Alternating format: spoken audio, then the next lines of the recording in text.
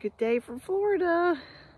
I was uh, I woke up this morning and I had that Who song in my head that goes, Who are you? Who, who, who, who, who, who, who are you? And it made me wonder, you know, it's like, who are you? What are you doing? You know? Because it seems like in my life, like everybody's like trying to define who I am and what I do. And it just is a very annoying. Like my ears ringing right now when I'm saying this. That's weird. But um I know who I am and what I do. But it seems that a lot of people have defined me in a different manner. One time when I was working as a flight attendant, I told someone that I was interested in Druidism and ancient, you know, religions and everything. And then, when, where was I going? I was going to Amsterdam. And then, like the next week, I was going to Tokyo. And it's like, oh, you're the witch. so it went from Amsterdam back to Detroit to, to Tokyo. In just a week, I was known as the witch at Northwest. I mean, this happened to me many times when I worked for Northwest Airlines. And um, it just made me wonder, like, you got to be really, really careful what you say to people because a lot of people don't understand, you know, what you're doing or how you're doing it. And um, if you're a curious person and you like religion and ancient arts and stuff like that, I like Egyptian stuff a lot and Celtic stuff, Picts, you know, from up in Scotland. And I always study all those different things. And people just misconstrue that I'm just trying to be a witch.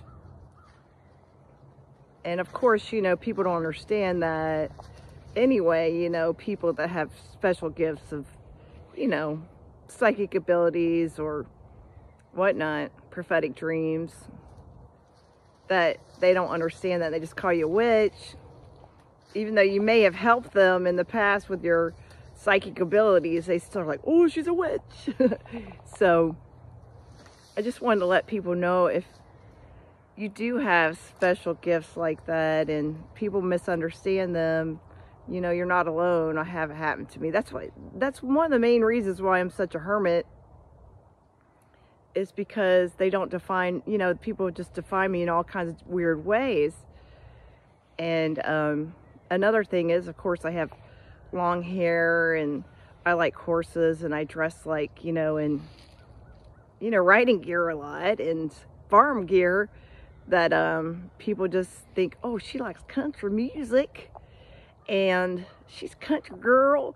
Yeah, I am a country girl, but I, I have always, always been big into um, punk rock music and speed metal and stuff like that. So, and people are like, why you know, you don't look like you listen to that kind of music.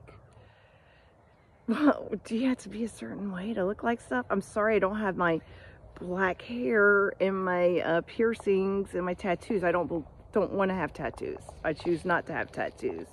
I've always been that way. But um, just remember who you are. You know, don't let anybody else define you. You know, you know what you are even people that you've, you know, even when you're with someone and you're dating or something, they define you and they think of you as a different way than what you really are. Or maybe someone just goes out with you to use you or get some kind of something out of you, you know, energy, ideas, whatever. Just don't let people define you. You know, another thing that I've always felt like that people have underestimated me over the years and they use me because of my kindness and generosity. But um, in the end, you know, disloyal people get cut off totally. I'm a cut off kind of person. Like if you if you use me and you've proven that you're not going to change, then you get cut off. So people have a hard time with that because they're so used to my kind giving heart. So just remember, be who you are. Don't let anybody define you. Only you know who you are. Have a good day. It's cold in Florida, so I'm all bundled up and you're probably laughing because it's like 60 here and I'm, I'm up cold. Have a good day, everyone. Cheers.